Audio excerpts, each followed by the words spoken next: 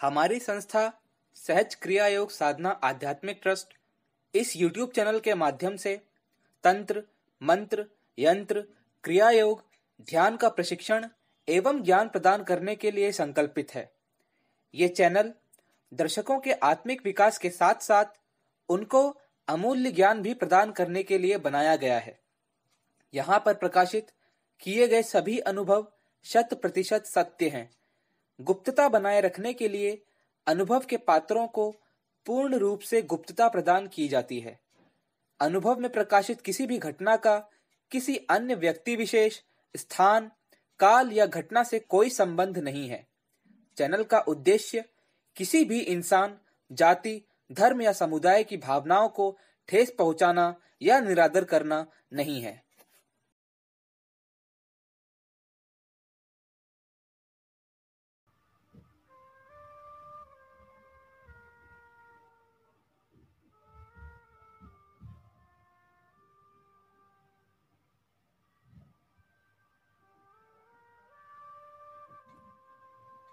नमस्कार दोस्तों। आप सभी का स्वागत है हमारे YouTube चैनल सहज क्रिया योग साधना आध्यात्मिक ट्रस्ट में। दोस्तों, पिछली वीडियो में हमने आप सभी को बताया था कि कैसे पत्राचार के माध्यम से हमारे गुरुजी को एक सिद्ध गुरु की प्राप्ति हुई, जो काम पिशाचनी से उनको छुटकारा दिलाने की क्षमता रखते थे। यदि आपने काम पिशाचिनी श्रृंखला के पिछले भागों को नहीं देखा है तो कृपया देख लें, ताकि ये वाला भाग समझने में आपको आसानी हो। लिंक डिस्क्रिप्शन बॉक्स में उपलब्ध है। तो आइए अब जानते हैं उन गुरु के बारे में, जिन्होंने हमारे गुरु जी की सहायता की काम पिशाचिनी से छुटकारा पाने में। दोस्तों ये बात है सन 1982 की, जब गुरुजी को वो सिद्ध गुरु मिले। राजस्थान में एक जगह है चौमू। वे सिद्ध गुरु वहीं के निवासी थे।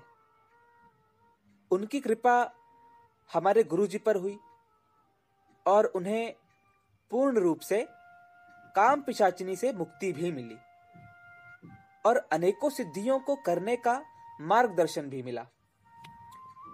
उन्हीं सिद्धियों में से एक सिद्धि हुई, एक ऐसी शक्तिशाली देवी की, जिनके मंत्र जाप से काम पिशाचिनी हमारे गुरु जी को छू भी नहीं पाई। वो देवी, जो कहा जाता है, महाबलशाली, महान, दशानन रावण की भी कुल देवी थी। दोस्तों, मैं यहाँ बात कर रहा हूँ अत्यंत सौम्य प्रवृत्ति वाली शत्रुओं का विनाश करने वाली स्तंभन की देवी, दस महाविद्याओं में से आठवीं महाविद्या माता बगलामुखी के बारे में। माता बगलामुखी को पीताम्बरा माता भी कहा जाता है, क्योंकि पीले वस्त्र उन्हें अति प्रिय हैं। पीले फूल, पीले खाद्य पदार्थ, पीले फल, हल्दी उन्हें बहुत प्रिय है। चौमू राजस्थान वाले गुरुजी ने हमारे गुरुजी को माता बगलामुखी की साधना करने की सलाह दी। काम पिशाचनी से गुरुजी की जान बचाने के लिए यह साधना करना बहुत आवश्यक था। उन्होंने गुरुजी को माता की साधना करने का विधान बताया।